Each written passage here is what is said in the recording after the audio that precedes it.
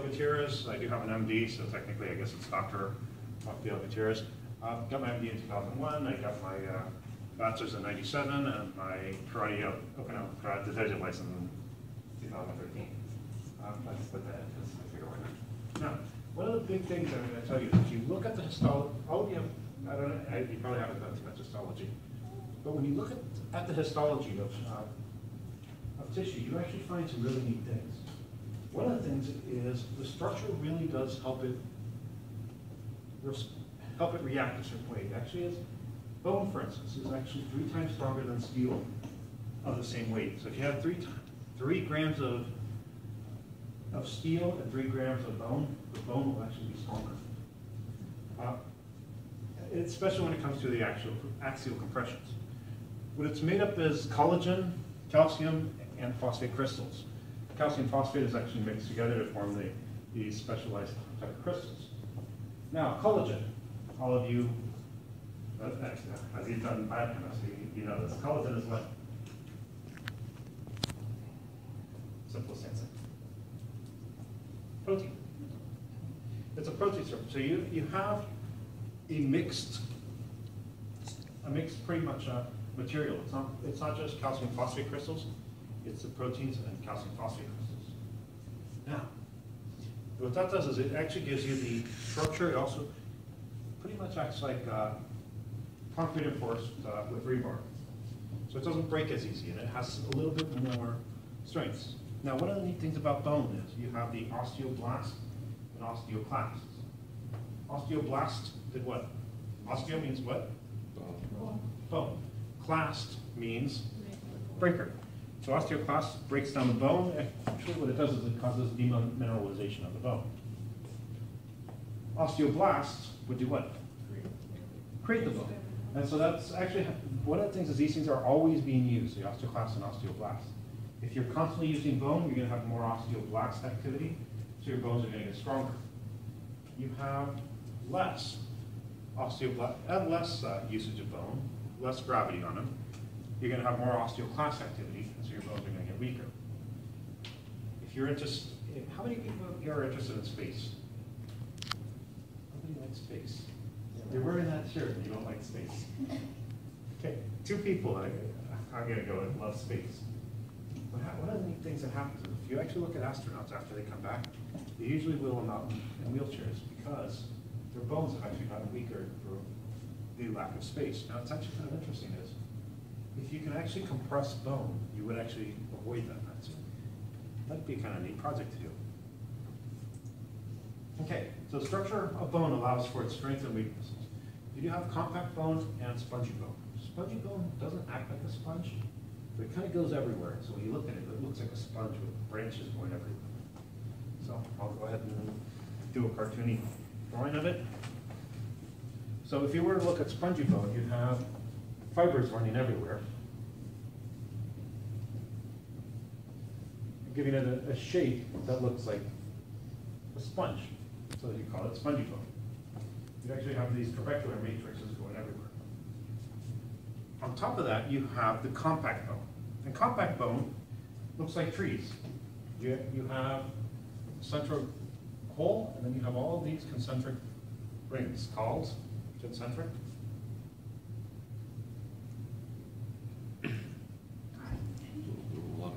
Lamella? concentric lamella. And so what you have outside is you have these big ring, like trees, running straight down. Now, that's actually what's going to be making the bone, but between the bone, you have another tissue type, which is smooth. What type of tissue do you find between bones? Those of you already do anatomy. Fibrocartilage. Tissue. In some weight-bearing joint, you have fibrocartilage. This is actually a nice, smooth material. It's kind of flexible, which allows the uh, bones not to grind into each other. Now, when we're dealing with uh, just the skeleton, not looking at the ligaments and tendons, what we're actually dealing with is mostly these two, these two uh, tissues.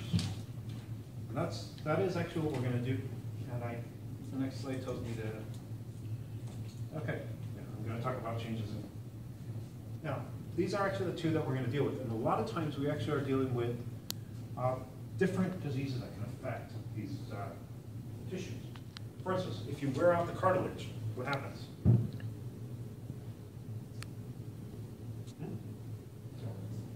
Bones can grind together. If you wear out the cartilage between your fingers, you can get osteoarthritis, which the cartilage becomes pretty much calcified.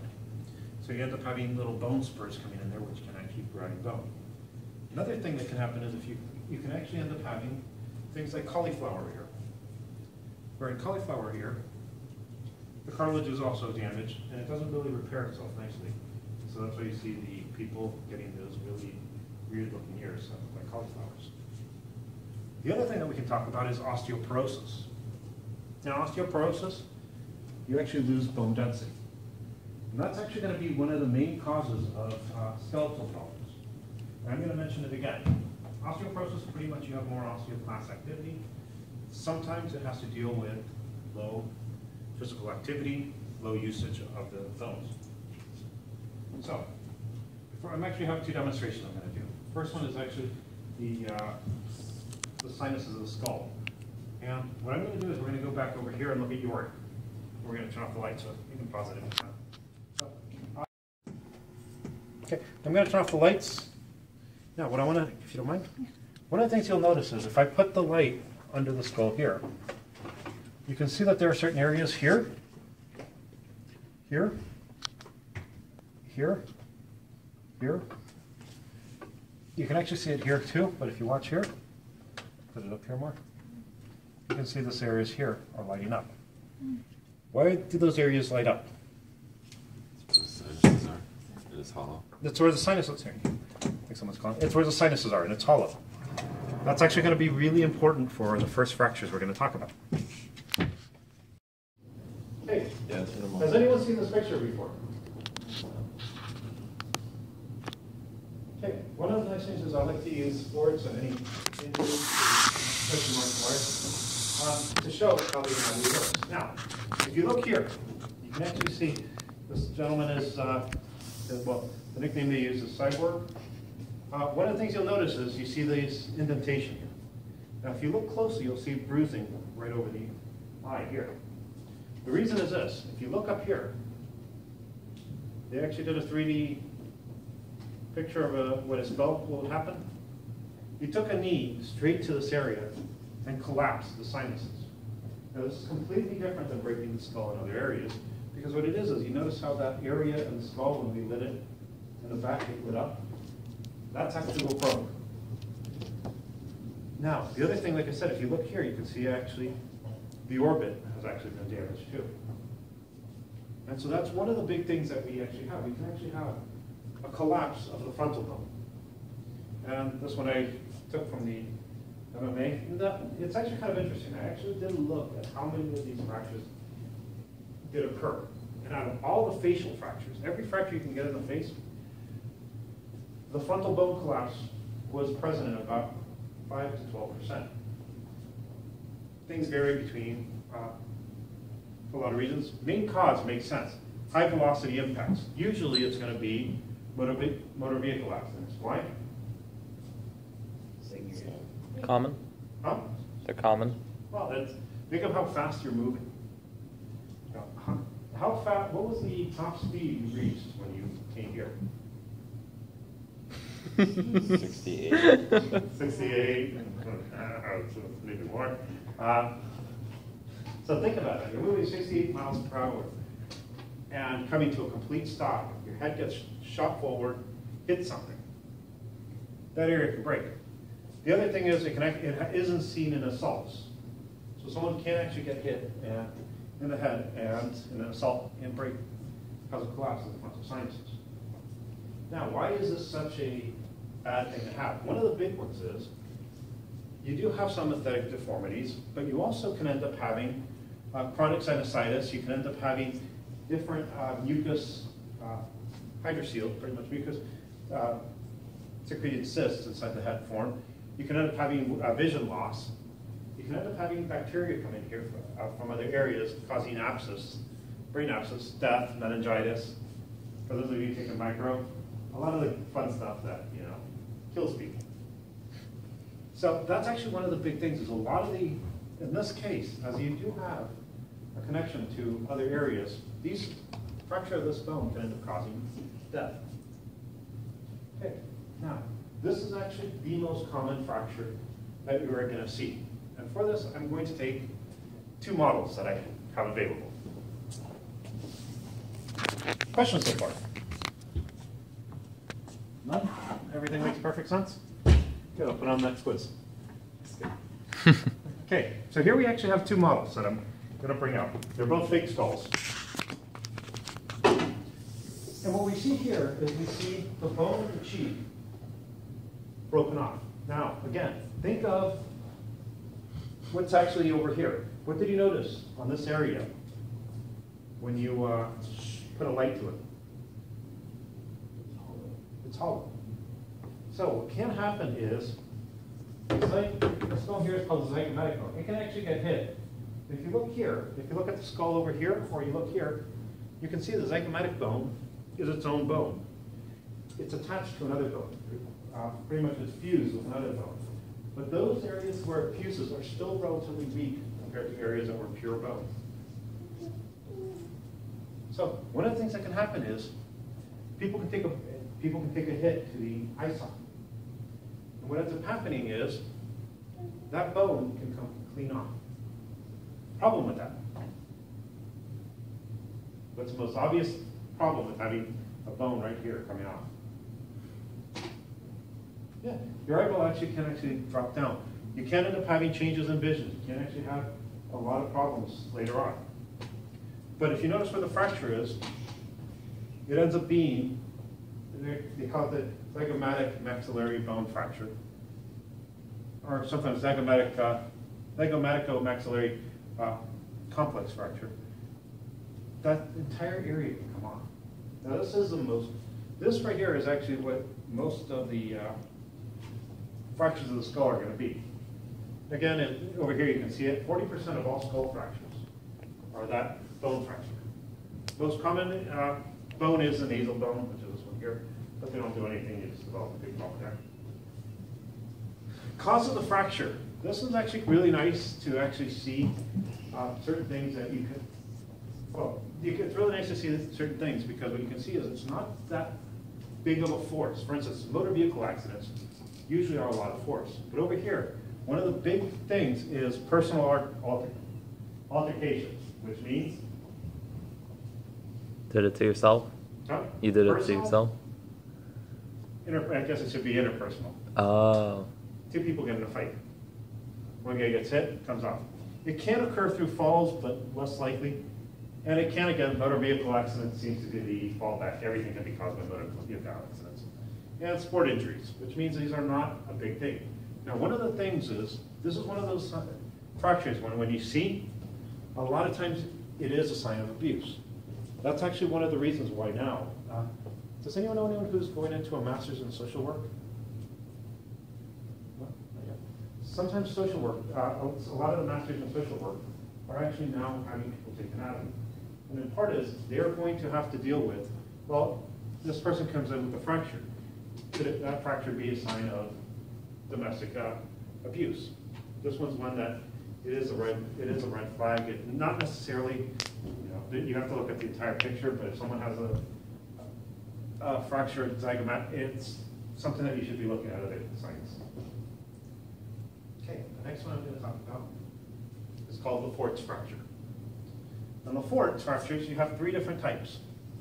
Again, think of what you notice when you pick up a light and the skull.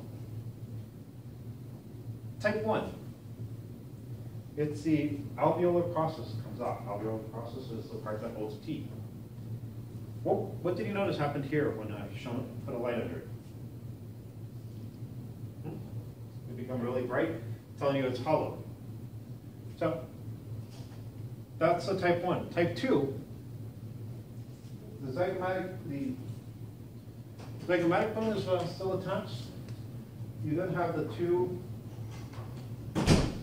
gotta be in a real, regular class. You then you actually have the maxilla break off completely. So if you look at this uh, bone here, this skull here, you see this bone here. This entire bone can come clean off. And so the face will end up having a look. Type four is a little, type four fracture, uh, little four fractures are just a touch different. What ends up happening is you actually have the, the maxilla here, the zygomatic bone, and the entire thing can come clean off. So that's, that's one of them. Now, main cause of this would be what? What do you think? Think about how you would break this. Going straight in. Oh, yeah. Workforce trauma? Uh, usually, yeah, usually through motor vehicle accidents or falls. Okay. Uh, for some reason, this one tends to be less likely to be caused by uh, things, I mean, if you think about where your eyes are, things coming straight here, you're gonna see, so you're gonna move or do something to try to block it. A lot of times in motor vehicle accidents, you don't have the time, so you're coming straight in. Falls, especially if you're holding something, you may not have the time, and so you end up breaking this entire section of bone off. And so you have three different types of Le Fort fractures. These are all the frac, these are not all the fractures, there's actually always more. For instance, there's a, a fracture that can occur in a, the pterion, but I wanted to give you guys something a little different. Okay, now, how common are these? Anywhere between six to twenty-five percent of all facial fractures. One of the things you'll notice with fractures and incidences, the incidences have these big ranges. The reason is there's changes. Sometimes someone is, uh, sometimes there's a lot more motor vehicle accidents, sometimes there's, uh, uh, you know, maybe if we had a colder than normal winter, we'll have more accidents, more people end up having these, uh, different things. Now again, one of the big things, it's high energy blunt force to the face, uh, to the face.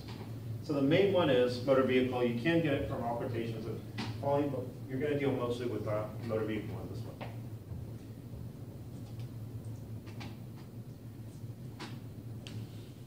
Mandibular fractures. Again, if you remember the skeleton, if you look at the mandible, you'll see a little bit of lightning, lightning over on this area here. So you're gonna see areas in the mandible where you're going to have fractures. Most of them are gonna be caused by, again, MVAs, which are motor vehicle accidents. Big thing you'll notice is most fractures are going to be uh, MVAs, and they can occur pretty much everywhere. And when you look at the numbers, uh, about 30, a little just under 30, it's under 30. So you're going to talk. You're talking about most of the.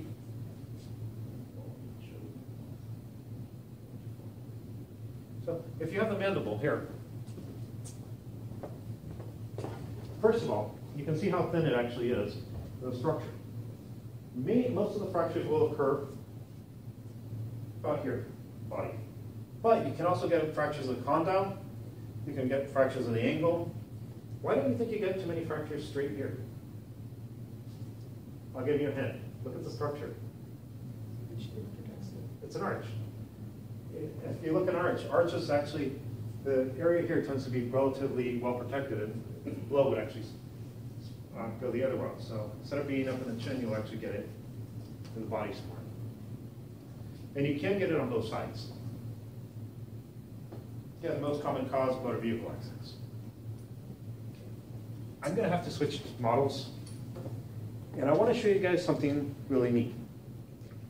First, that's this. If you take your right hand and you run it down the back of your neck, you'll notice that you have a concave curvature if you were looking from the back. Thoracic region has a natural convex curvature. And then your lumbar region, again, it's concave. Now, the curvature ends up giving you certain functions, it gives you certain postures that are normal.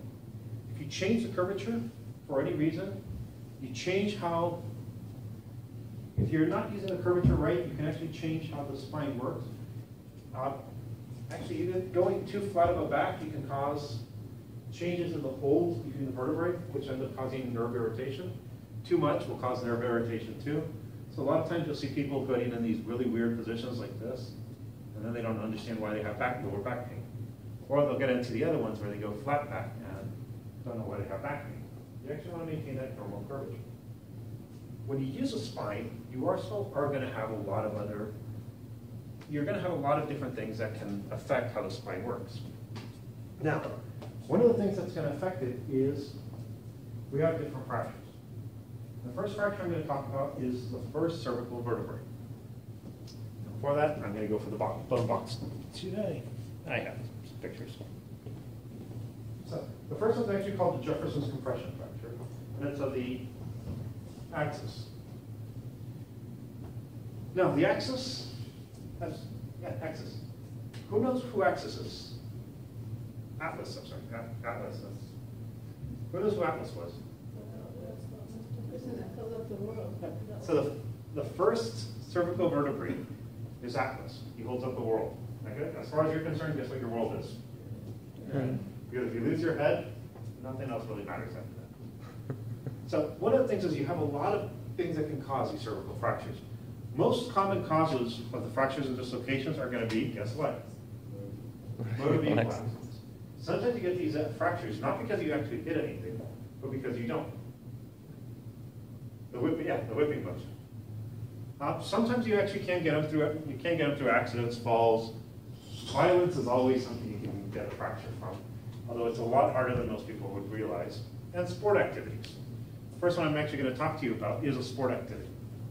A lot of it has to do with just rapid, accel- rapid accelerations and decelerations. We're talking about it takes milliseconds for the, the action to do it. So it, a lot of people think, oh, it's force, force. Well, it's not just force. It's how long it takes that force to be applied. Sometimes people don't pay attention to, uh, don't necessarily look at how fast something gets applied. To give you an example, let's take a smart car, one of those little thousand kilogram cars. If you have it going at something like 0.1 miles per hour, and you get hit by it, what, what's it gonna do to you? Nothing. Well, it's gonna move you. Now, if you took physics, you talk about elastic and inelastic collisions. When something gets hit and starts moving, it doesn't really cause the damage because it causes the movement. Now, if you're stuck against the wall and it's pushing against you at 0.1 mile per hour, it's gonna cause damage because that force is gonna go into you and into the wall. And so that's one of the big things that ends up happening is uh, how fast the force will, and if there's something holding it, will determine if there, how uh, the damage is. Now, if you took a smart car, which is uh, like a thousand mile, I actually did the, a thousand, uh, I think it's a thousand kilograms, a thousand pounds, I think is what it equals it. Going up 0.1 mile per hour, it's about the same force that a fastball, go- a baseball going 90 miles per hour has. Now, what happens if you get hit by a baseball going 90 miles per hour? It hurts. Probably gonna do a little more than hurt. It'll probably break something. Is it gonna move you much? No. The entire force that collision goes into you, in a couple, in probably a millisecond. You don't get any movement. It just hits and that's it. So most of, in the, the neck, most of the most of the fractures are really gonna be caused by these forces acting in milliseconds. Now, the initial event can cause fracture, and it can be stable or unstable. It can be stable or unstable, unstable, and that instability can actually end up causing problems to what the spinal cord, the uh, vertebrae are protecting. What are the vertebrae protecting? The Spinal cord. The spinal cord. Now, depending on what the area of damage you have, you can end up having a lot of problems. So that is one of the big things. So we do have the initial trauma event can cause uh, can cause the problems for the skeletal structure, and then later, if it's not stable and the person's just moving around, it can end up causing a lot more problems, neurological problems. Uh, it can actually result in injury to the spinal cord. And can end up having a lot of neurological problems. Now, interesting thing is, most people who are going to get spinal cord injuries are going to be men between 15 and 24. Anyone know why these numbers are actually kind of interesting? Has anyone taken sociology? One of the neat things is, if you look at, uh, if you look at actually, uh, people when they commit crimes, it's actually the same age groups. Reason? What do you, how much are you thinking of what you're doing when you're a male, 15 to 24? Not much. You're not, you're still in that age range even. But, no, that, that is actually one of the things, is you, you do have the effects of testosterone at that time. You do have the uh, whole uh, uh, social aspect and, you know, you, if you think about it, uh, if you're, if you find someone racing in the street, usually they're gonna be around, uh, well, younger than 25. 25. Once you get to twenty-five, you're usually like, what am I doing this for? Okay, so this is actually the one I was telling you about, the Jefferson's fracture. This is the atlas. And in Jefferson's fracture, what happens is the skull comes crashing down directly onto it. The way this fracture usually occurs is, well, the best way to actually describe it is in football, spearing. It's the reason why a lot of people want to make spearing illegal.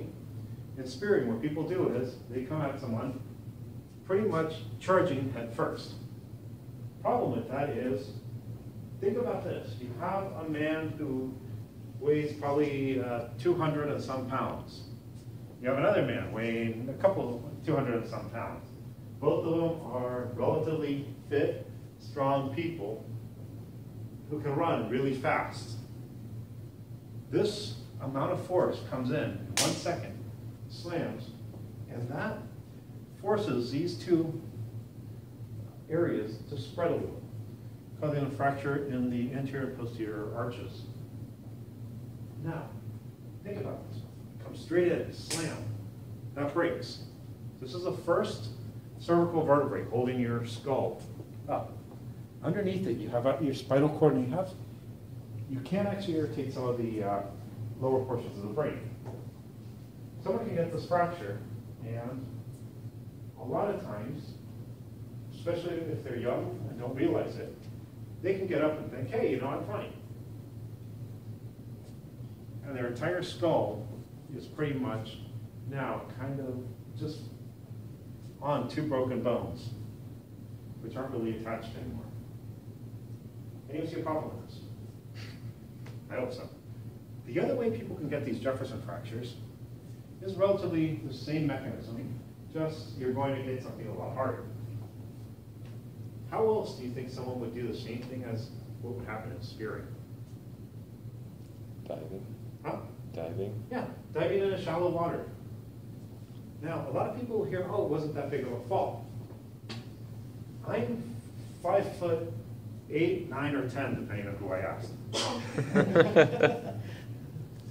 If I, if I were to jump and land straight on the top of my head, the distance that my body had traveled will be about just under six feet.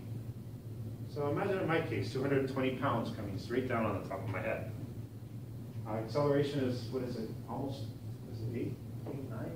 What the exact, ex- acceleration caused by gravity? Meter, uh, meters per second squared. So you actually are picking up a quick, a lot of accelerate as he comes straight down. So that's actually one of the other ways. Think about it. This is, a lot of people say, well, it wasn't that big of a fall. Well, you're talking about six feet here. A little under six feet is a big fall. Okay. The other one, the next one I'm going to talk about is the fracture of the axis. This time I'm, I'm right, it's the axis. Uh, cervical vertebrae number two. I don't know why I couldn't say it before.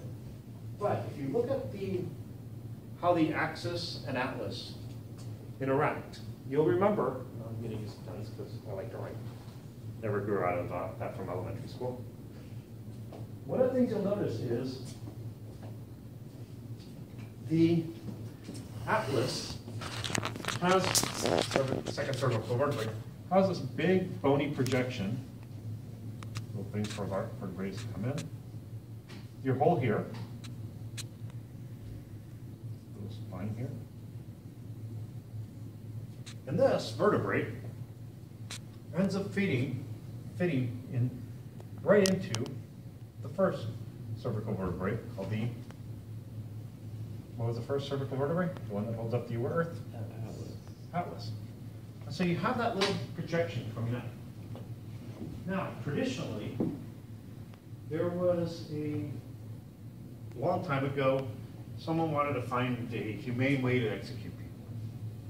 And what they found is a seventy-five kilogram body fell six feet onto a rope pulled, set up on the back of the base of the skull. That sudden jerk would end up getting this, the second cervical vertebrae and getting it to fold on itself, cutting the spinal cord immediately. When that happens, spinal cord gets cut, cut completely, so it's almost like doing it using a guillotine.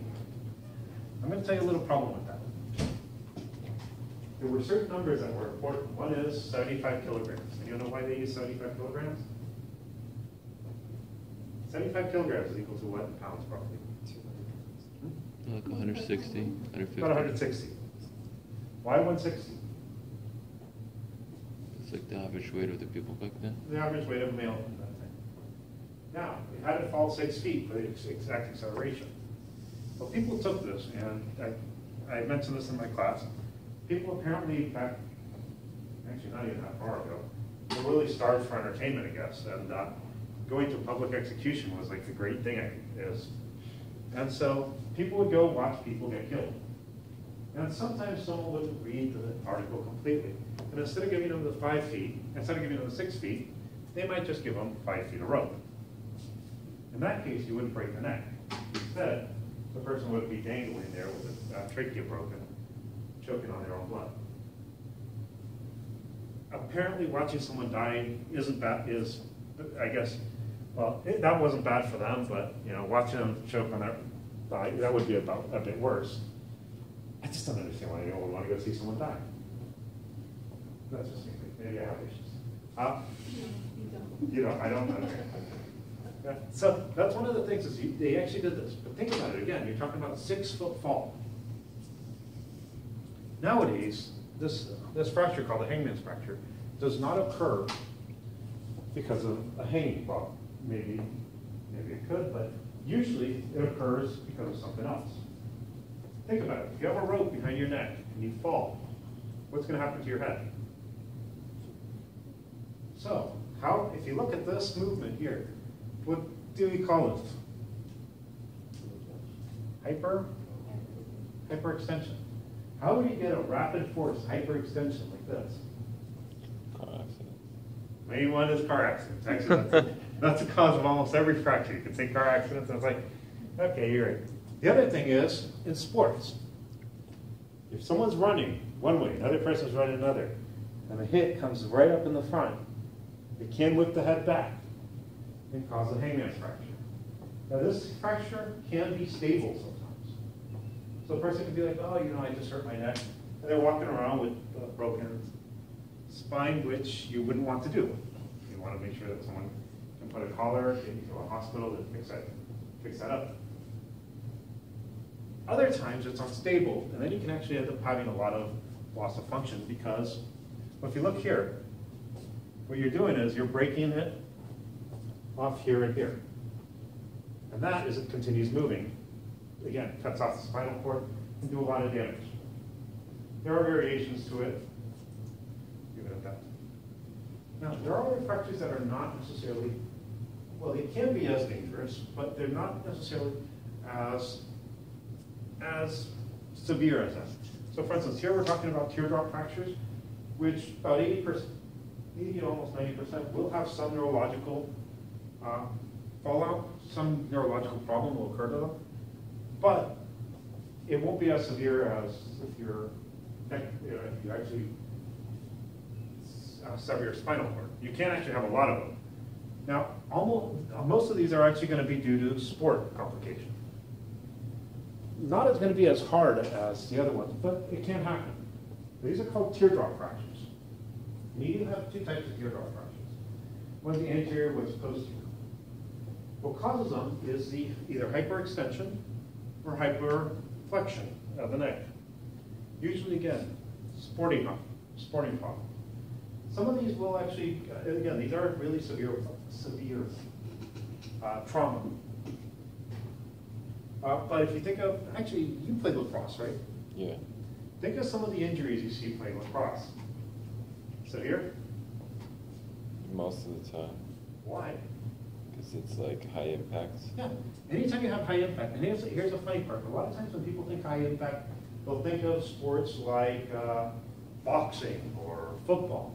But you can also have these high impact sports in sports that people a lot of times don't even consider as, oh, no one's gonna get hurt. For instance, if you think about, anyone play basketball? Plays basketball? Like on the street. On the street, that, that, it's still considered basketball. If you think about it, you can end up, when people are running, you can end up having these massive hits. You can't fall and end up having these different things. Soccer, you can't have someone kick as someone moves. Collision, you can have these really strong um, traumatic events. And so in this case, what happens is part of the body can end up breaking off because you hyperextend or hyperflex. Uh, and we have a skeleton back there. I'll show you what I mean on Yorick over here. If you actually come over here, I like to use the whole room. Uh, By the way, I'm sorry, I don't think I met you yet. No, um, I'm Christine Martin, I teach at Mesa. Oh, hi, Raphael. And Nice to meet Good you. meet, great meeting you. So I'm really into bones, Oh, great, me too. so learning about fractures and even Oh. Uh, increasingly knowledgeable. Oh, thanks. Yeah, I'm, I'm actually gonna try to post this on a YouTube, so my, any of my colleagues who may want to use it can. Now, if- yeah, if you actually look here at the skull, you actually can see how close, um, let's remove this. I always love how you can take everything off this bones. There we go. You can actually see how close the bodies are. And when you're getting these extensions, I'm sorry, extensions going back here, reflections, you can actually cause breaks. You can pull off parts of those bones. I'm gonna try to put it together so I don't. So, you can actually see that here. I'll put it, I'll put it back later. Okay, so you, so you have all these different movements that can actually cause it. Now, I will tell you a little bit about other spinal problems. And first, I, first one I actually I'm going to tell you is herniated discs. If you looked at the spine, you'll notice that there are discs between each of the vertebrae, each of the vertebrae. And one of the things that can happen is, a lot of times through motor vehicle accidents, you can herniate cervical discs. Now think about it. If You wearing a seatbelt, you get in a car accident, your head whips forward, and you can actually get herniated region. I'm going to skip uh, thoracic for a little bit and talk about lumbar disc herniations. These are the ones that you always, you a lot of times hear about. The uh, people with sciatica complain about. Not everyone who has sciatica has a lumbar disc herniation. and Not everyone who has a herniated disc ends up having uh, sciatica. But the, these are actually similar, except it actually acts more like a lever. It's a lever mechanic that causes the problem. Now, if you think about your back, you have a bunch of bones which are meant to turn, get a little flexion. But if you go to lift something here, and you lift, lift here, your force is acting here, your fulcrum's back here, so you can end up popping the, the spine out. You can also get these sometimes by falling. Uh, I knew someone who ended up falling out, a hammock broke, he went on vacation, a hammock broke under him, and it ended up uh, pushing his pelvis in a disc. Kind of, I think that's probably an odd one. The other one that's interesting is the fractures of the uh, thoracic area. Now, a lot of these fractures are pathological fractures, meaning it's actually not the trauma, that, out an external trauma that causes the fractures. It's the trauma of normal movements. What I mean is, with osteoarthritis, uh, osteoarthritis, osteoporosis, not FOA, what you can actually end up having is you can end up having the normal curvature, just, the, uh, you can have compression fractures of the thoracic vertebrae, causing a excess curvature of the spine. Uh, you have talked about uh, scoliosis, which everyone has it to a degree. Some people are born with a little more. And lordosis, where uh, as you get uh, bigger and become more of a lord, you end up actually get pulling up. You can also get it, as, you remember, if you're uh, pregnant. So, you can tell. And it- as you have your son, you can tell you son that he was a pain in your back. Okay, rib fractures. Now, here's actually the funny part.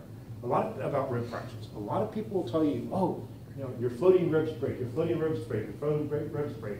And the funny part is your floating, think about it. If you have a, if you try to open and close your hand and you have something putting pressure on it, it becomes harder and harder.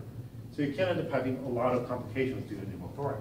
You can also, you can end up uh, puncturing a lung, making that lung not necessarily function. Uh, You can even, you can break, well, you have an artery running over there. So you have all these different things that can happen from rib fractures. It's actually kind of an interesting thing. You look at the bones, and everyone thinks of, and they are strong. I mean, you think about about three times as strong as steels per weight. Yet all these different things can end up happening to them. Okay, now, we're gonna go into arm fractures. I'm not gonna talk about every arm fracture because that go nuts, that, we'd go nuts with that. But I'm gonna go into it. Now, one of the things is you'll notice that I added the arm fracture, clavicle, the fracture. What's the difference between the clavicle and every other bone in your arm? Actually, except for one other one. It's made with intramembranous ossification. Most of them are actually endochondral ossifications. The clavicle is made intramembranous, and its long shape causes certain problems at birth. This bone can actually be broken during birth. How? Oh, Baby's coming out. You have compression of the uterus here, here, and that S-shaped pattern snaps in the middle. But I wanted to show you something. When we're dealing with long bones, one of the things to remember is long bones are compact bones, which I told you about earlier. You have spongy bone inside, and then you have a hollow cavity in the middle. In essence, long bones are hollow cylinders. And like I said, I wanted to bring this for a reason. Now, one of the things, if I really wanted to do this right, I would have thousands of these, and I'd arrange it around, and I'd put little other paper thing holding and have a hollow cavity. But that's not a- as dramatic as this. Think about this as your bone. You have your medullary cavity, we'll use that as the cortex, and we'll put it here. So what should happen?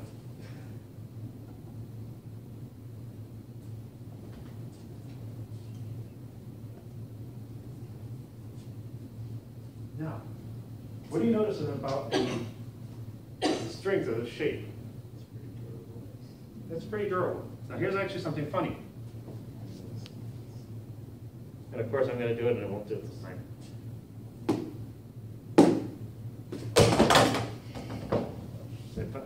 One of the things is bones actually don't bend.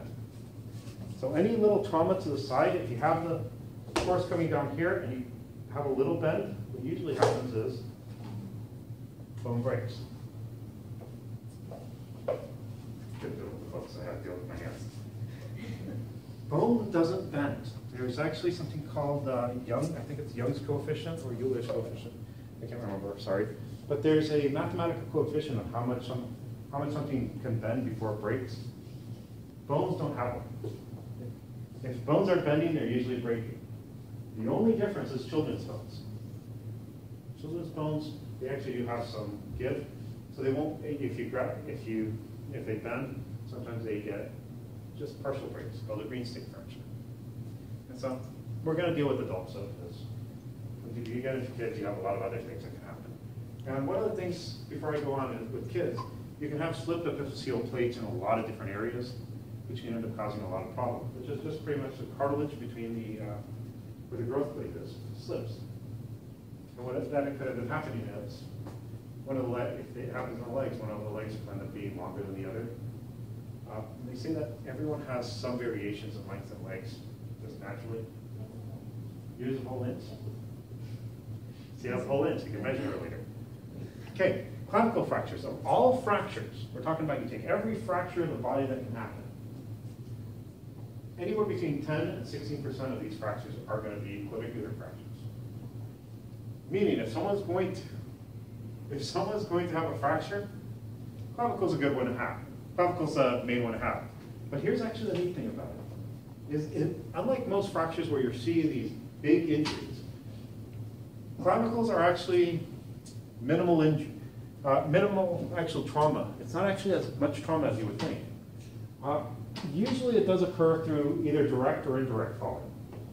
Direct or indirect trauma. Direct trauma would be you're playing football, someone runs in, hits a clavicle, the clavicle breaks. The Neat thing about the way the clavicle breaks is most bones when they break, they go in the direction they break. The clavicle, when it breaks, because of the musculature, comes out. So you end up seeing a big bump here. And the humerus will slide forward, so you'll have, but you actually end up, you'll end up seeing a clavicle fracture come to the front. Now, it is associated with uh, some high-energy traumas and multiple traumatic injuries. It can be seen in falling. For instance, I'm holding a ball and I'm running and I fall on my shoulder. That can end up causing a fracture. And it's the, it's the fracture that occurs during your contractions in birth. The reason that's so important is this. Sometimes wh- what happens is, uh, pretty much uh, during the birth, baby's too big, gets stuck, and that compression ends up causing a fracture. Problem with that is underneath there, none of you have taken uh, neuro yet. You have a collection of nerves. And Sometimes you can end up damaging those, uh, that nerve plexus. Uh, And then you end up having neurological problems later on.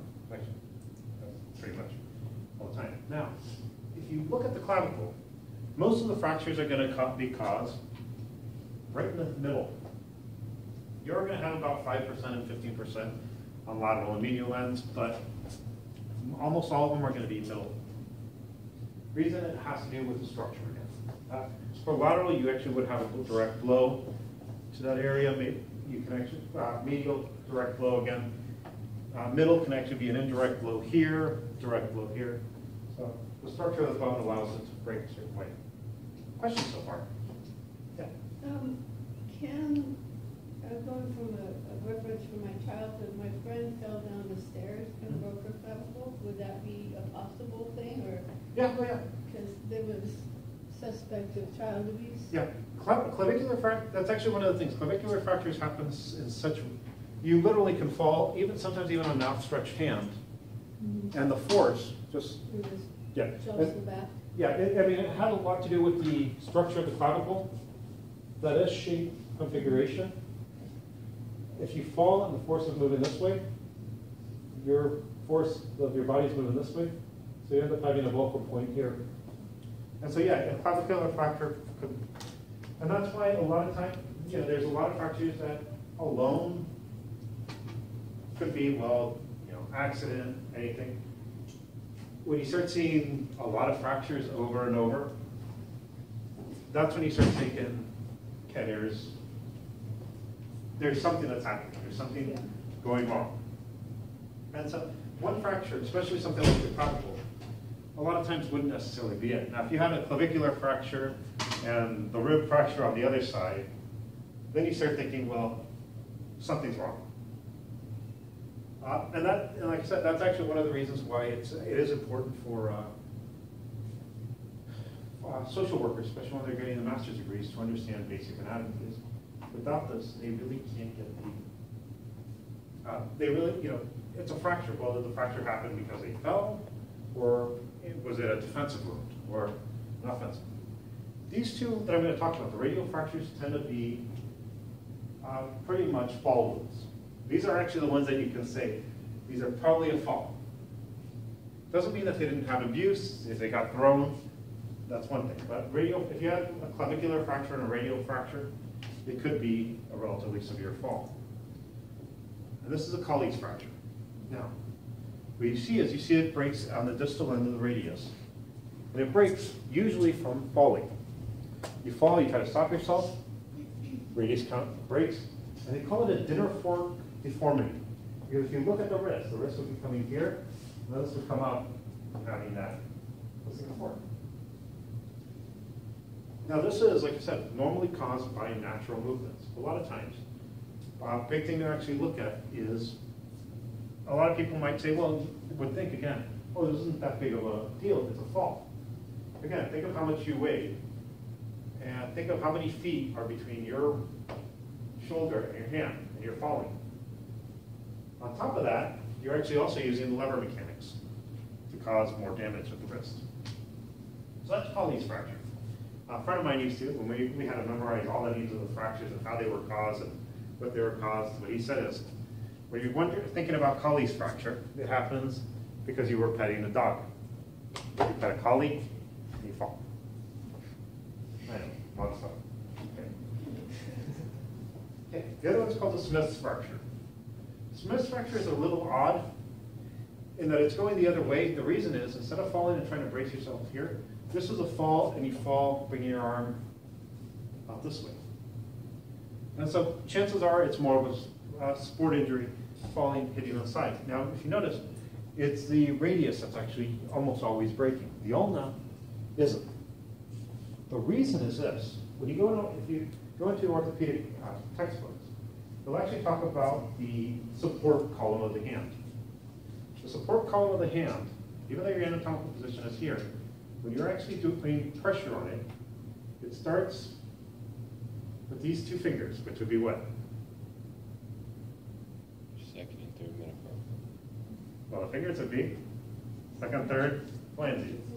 Goes going down the second and third metacarpals, going to the radius, and then it actually crosses over to the ulna. If you're, because if you think of putting pressure on your hand, see, well, it would be here. So all your pressure is on the right radius. You're, it's not in the until it crosses over. And then on the radial side, you actually are kind of like dangling there. So that's why the uh, radius breaks on an hand on a fall.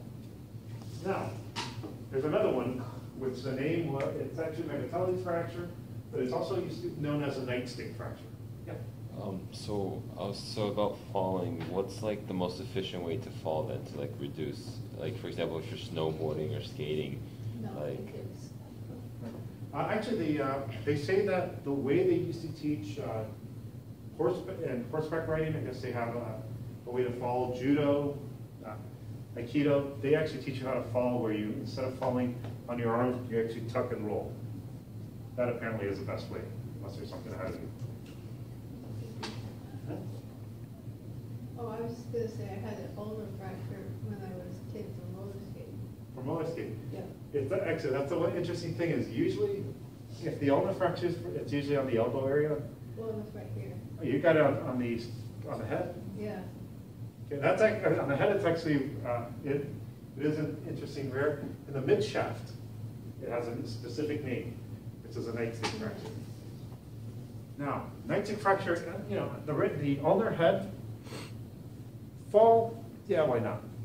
The elbow, hard fall, falling off a bike, yeah, I knew someone who broke the ulna in three places from falling off a bike. The nightstick fracture, it's really hard to break that in a fall. Now, the reason it got its name is, well, based on, based on its name, well, why would someone get this fracture? I'll give you a hint.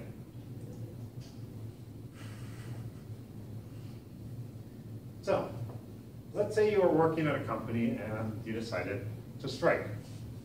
What the company would do is they hire police or private security to get you off their property. How do they get you off their property? Swinging.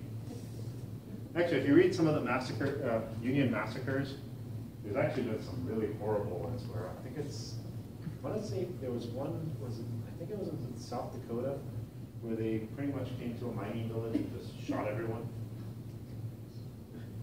Yeah, you know, it's like this whole, oh, you know, we don't, we don't need protection from people. It used to be pretty bad. Nightstick fracture pretty much is the nightstick's coming down and what, to your head, and what do you do so you don't get hit? Okay. Now, if you have a nightstick fracture, and they tell you they fell, probable? Probably not. That's actually direct trauma coming down. Now, interesting thing is, some people actually, I actually talked to someone who went to a self-defense class where they told them to block with their forearm. Problem with blocking anything with your forearm is it can break. So don't use your ulna if you're uh, trying to do any defense.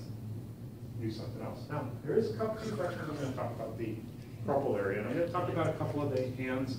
Fingers, I'm not going to talk about. Uh, fingers break and you just tape them up. Uh, no big deal. Uh, unless they start going unless they start getting really interesting colors, then, you know, it's a little different. So the first one is a fracture of the scaphoid. Now, you do your thumbs up sign. You see two tendons here, and you see a little space here. That's called your anatomical snuff box. That's also the location of the scaphoid fracture. And I swear I want to, I want to write a book on how medical excuses to get out of anything. And if you need two weeks off, the scaphoid fracture is what you want because a lot of times the scaphoid doesn't show up on X-ray for two weeks. In- if you look at the bone, it's irregularly shaped, and so sometimes before it has calcifications, it doesn't show up. And so it has to actually be, it's an occult fracture for about two weeks after injury. So it has to be based on clinical presentation. Now, what that means is if they think they have your scaphoid fracture, it should be casted and then x-ray two weeks to see if you have a fracture. There are certain people who say that with different type angles of x-rays, you sometimes can see the fracture.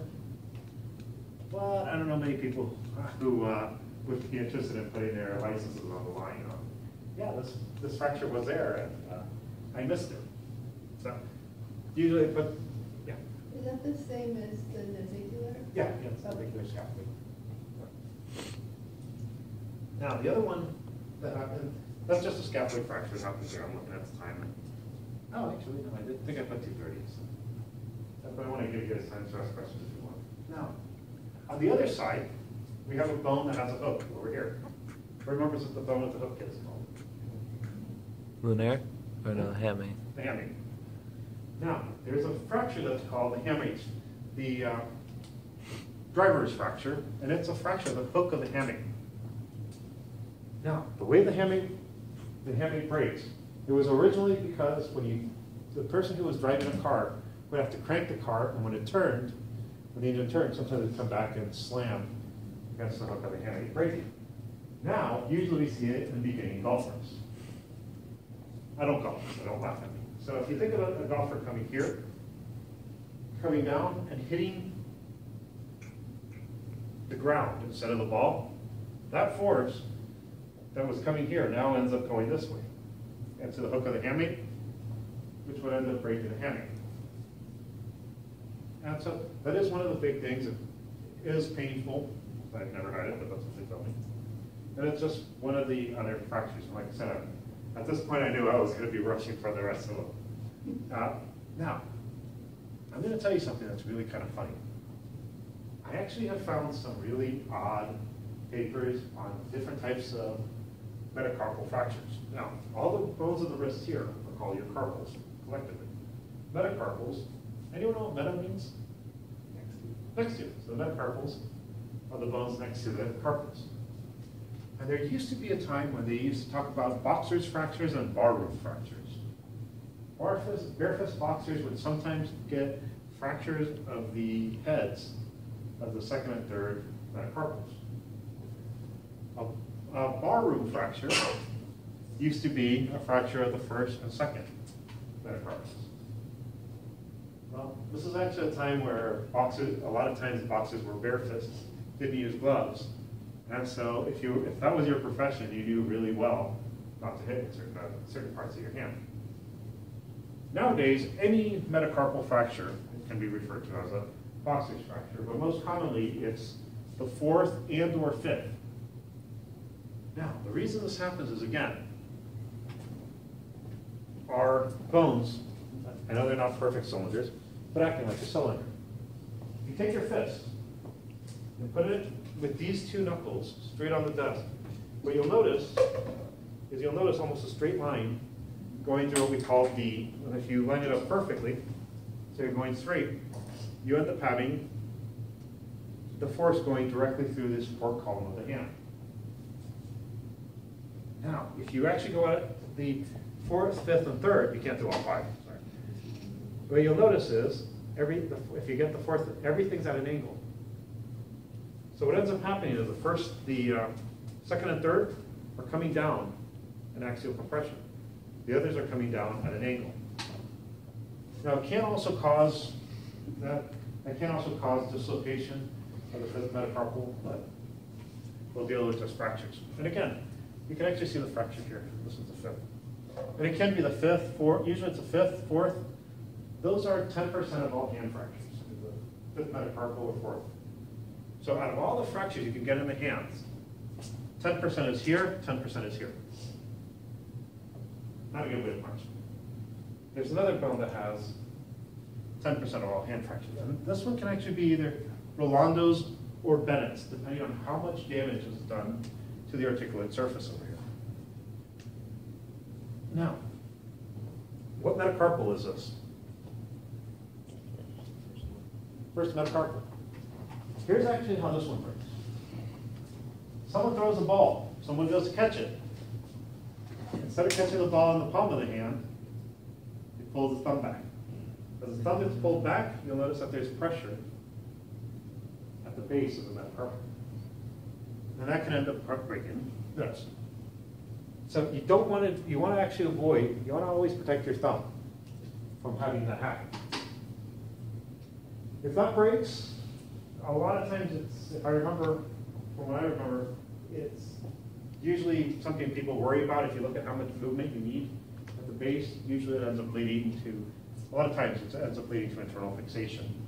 But I'm sure that there's some orthopedic surgeon somewhere who has experience will say, no, no, it's, it can be, it can be casted and it'll be okay. Uh, But, yeah, that's, that's actually Rolando's or Bennett's, depending on how much, how much uh, damage you have.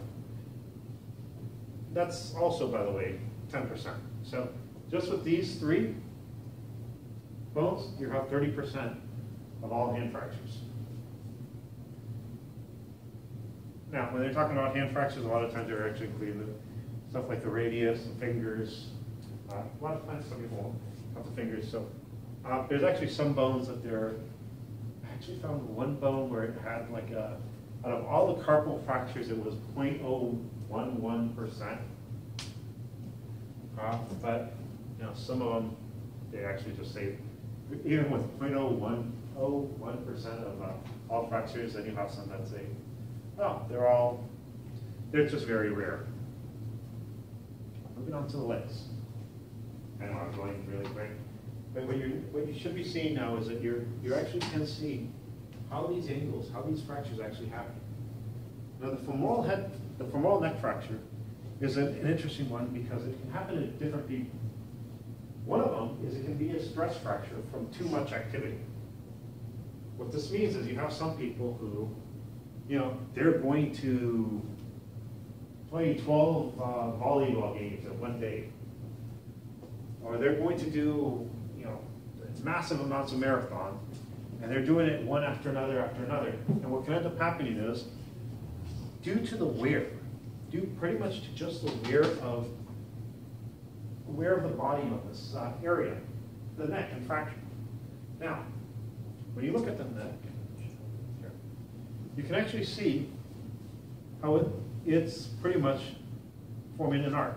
Here, you have the pubic bone, the uh, acetabulum here, coming over here, have the other leg. So you actually are putting all the pressure here, coming down this way. This is where you're actually going to have your fractures. And so you can't get them from either, you can't get them from either overuse or direct trauma. Now, these are actually, usually, if they're an, an otherwise healthy adult, it would be this. MVA means what? Motor vehicle accident. Motor vehicle accident. You're talking about really high speeds. Reason is, if you think about it, th- this bone is really well protected. It's actually one of the, one of the strongest. The way it usually breaks in a lot of people is due to osteoporosis. And this can actually break one of two ways. Just like the, uh, the uh, thoracic vertebrae that can break under their weight, with osteoporosis, you can end up having someone who their bones are so demineralized that they go to stand. And that action of shifting the weight from one area to another is enough to break the neck. And so you have some cases where people will actually stand, break, and then fall. The other one is someone can lose balance. And if you lose balance, you then fall into the ankle. Ankle, you can actually break that. The third way, it really can be one of two things. It can be overuse. It can be just a abnormal movement. But all, you can actually get avascular necrosis from any of these, or you can get avascular necrosis that ends up leading to a hip fracture. Avascular necrosis pretty much means the blood supply is no longer there. Now, the reason that happens, and this, I don't have the picture up, but if you, actually, some of you already know this. You have an artery that comes around here. It goes around the neck of the femur. What was that called? I don't remember. Circumflex. Circumflex artery. And the arteries can end up coming over here to feed the head. This is actually a weird structure in that most bones will have blood mostly going inside. Over here, you actually have a blood vessel coming on top. You can end up losing that blood supply, which will end up leading to the death of the bone. There's a fracture called, I'm going back down, and I'm getting, I know I'm going quick. I do want you guys to ask, be able to ask questions. There's a fracture called the boots fracture or boot top fracture. And I will tell you that I've actually talked to people who mistake the boots or boot top fracture for what's called the March's fracture. It's two different fractures, and that's why the boot top is actually a better name to use. Because it tells you where the fractures happen. If you have a boot, where is your, what bone are you going to put a lot of pressure on? What is this? Tibia. Now, usually the boot that causes this is going to be ski boots. And so boot top fracture is actually the fracture of the tibia. Why not the fibula? It's covered in muscle. It's actually mostly covered in muscle. It's also not supporting the weight. If you think of skiing, you're here, you're bending, and your, your boots are really rigid. And so you end up having the, the tibia being kind of forced over and over that part of a hard bone, hard uh, boot, causing a bit of a fracture. That's why it's usually seen in skiers. If you have really hard boots, you can probably see it there too. You have another fracture of the tibia called the footballer's fracture. Now, who's a footballer? Here's the thing, if you're talking about American football, you call the person who plays American football a footballer. So who would be a footballer? A soccer. Soccer player. So here's actually the thing. A footballer's fracture is usually found in soccer players. What what, anyone play soccer? Where do you get most of your damage? In tibia. How? People kick you. People kick you. So here's the thing. In the diaphysis, the lower end of the diaphysis, you can get hit over and over again. And it can affect the fibula as well, but usually it's direct trauma to the tibia. There is another type of fracture that we're actually starting to see in the tibia now too. And that's actually, uh, there was, with MMA, there's a lot of people who are using a kick where it uses the tibia. And what can happen is the tibia hits something like the medial epicondyle of the knee. And so the shaft of the tibia being a hollow cylinder, if my arm was a tibia, it would end up doing this. Problem with that is that the person sometimes tries to land again. Sometimes afterwards, the person kicks it tries to land. Now that weight isn't just going on the tibia, which is busted. You can actually end up having a fracture of the femur, not a fibula, like that too. Not a footballer's fracture, but. And this is one fracture that I really love to talk about. And I, I found this picture and I thought it was great. And, uh, the person who drew it said it's fair use, so. And now I'm seeing why it doesn't show up that well. But one of the things that happens is if you go to your tibia, you have a big lump in the front here. What was that lump of bone in the front of the tibia called? Tibial Tibial tuberosity. tuberosity. It's attached to a big muscle here. What muscle is here? Hmm? In the front. Vastus medialis. No, vastus. Nope, nope, nope. Uh, rectus femoris. Uh, it is actually rectus femoris. We'll have some, some stuff with the other one, the vastus lateralis medialis and intermedius. But we'll use the rectus femoris. And what ends up happening is little kids especially, they can actually pull the tib, if you remember, the- they can pull the tibial tuberosity off the tibia. Usually what happens is you have a kid who's maybe slightly overweight and someone wants to help him lose his weight. He's gonna have him run over and over. and the bones aren't mineralized like yours and mine. And so they can end up pulling part of the tibial tuberosity. So, yeah, you, if you don't overrun kids, not a good thing. Okay. I'm actually gonna talk about a couple more fractures. This one's actually a fracture that, usually, what ends up happening is instead of the fracture happening, you can usually tear the ligaments of the ankle. But sometimes when someone rolls their ankle, they can break the malleoluses off. And you do have Weber's, uh, you do have classification, and it's just as if the fibular malleolus, fibular malleolus, which is a little more stable, or fibular with tibial malleolus. And what it is, is the, the action is that rotation of the foot, that rolling of the ankle, and for some reason, the ligaments are strong enough not to break. The bone breaks. This is what I love to talk about. Two percent of all fractures, but sixty percent of all foot fractures are calcaneus fractures, and they call them lovers fractures. The name, the reason they're called lovers fracture is it has to do with a uh, person lands, how a person would land on his foot if they jumped off from a one-story building. Why do they call it lovers fracture? That's one of, there's two stories supposedly. The first one I like more. No, I like the, I like the first one more. The first one is actually, the cheaters is the second one. The first one is, you know, the kid's in love and the guy goes up and, you know, to the balcony to meet his love, you know, his girlfriend. And after the kiss, he jumps down to show how, and lands on his calcaneus, which is the big bone on the foot. And the way it, he lands, he breaks it. I couldn't, I don't think I found, a good picture of it, but I didn't think one anyways. The other one is the one he was talking about. The guy's with uh, his lover, and her husband comes home early. So he runs out off the uh, balcony, jumps, and breaks it. And you can see here, calcaneus here, it's the heel bone. You can see all the fracture there. Sometimes it is stable, sometimes it's unstable. But one of the first signs that you see is, obviously you're gonna have pain. You can get a hematoma that ends up filling in this area here. So you can end up having a hematoma on the the foot. You will usually have bruising, but all, one of the things is, a lot of the signs that people get when something breaks don't necessarily show up.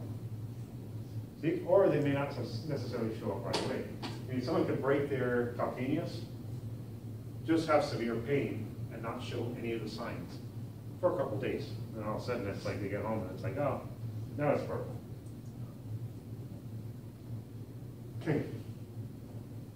Now, I told you how about the boots fracture, and there's actually something called the March's fracture, which some people don't understand the difference, and they will actually mistake it. March's fracture, and I, I can see why. March's fracture usually occurs to your 18-year-old military. How many of you taken you took physiology? Took physio?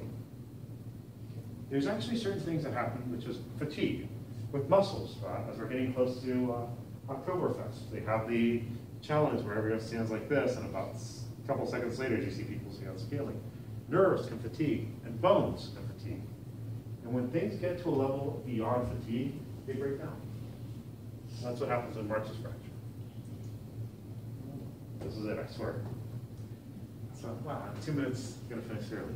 You have another one called Dancer's avulsion fracture.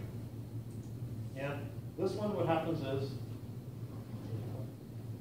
the, uh, if you look at the foot, foot here, maybe you can't see the ligament there. But if you look at, uh, if you look at a foot, the fifth metatarsal, the base, has a little projection. What happens is, as you spin on the fifth metatarsal, that can actually break. What's, or sometimes it, it happens when a dancer lands wrong. Usually, uh, usually if the dance, uh, if a dancer lands wrong, it has to do with fatigue. So it's one of these things that happens because someone is dancing uh, far too much, or they're spinning on the wrong side of the foot because they don't understand that you want to spin on the first and second metatarsals instead of the fifth. So one of the things you actually did is, you, if you notice, a lot of the things with uh, fractures, it really is an idea of uh, an oddity. Some of them are massive amounts of force, but a lot of the more common ones, it's someone twisted the wrong way, something that the movement is actually, the angle of the bone is being used in a way that isn't mechanically proper. Uh, there are a lot of other fractures, and a lot of them are really fun to talk about, but I figure for an hour and a half, uh, that's probably enough. Are there any questions? No? Uh, Great, well, thank you for showing up. I know you told me your, did you put your professor's name? Yeah, yeah. Patricia Moore? Okay, yeah. Uh,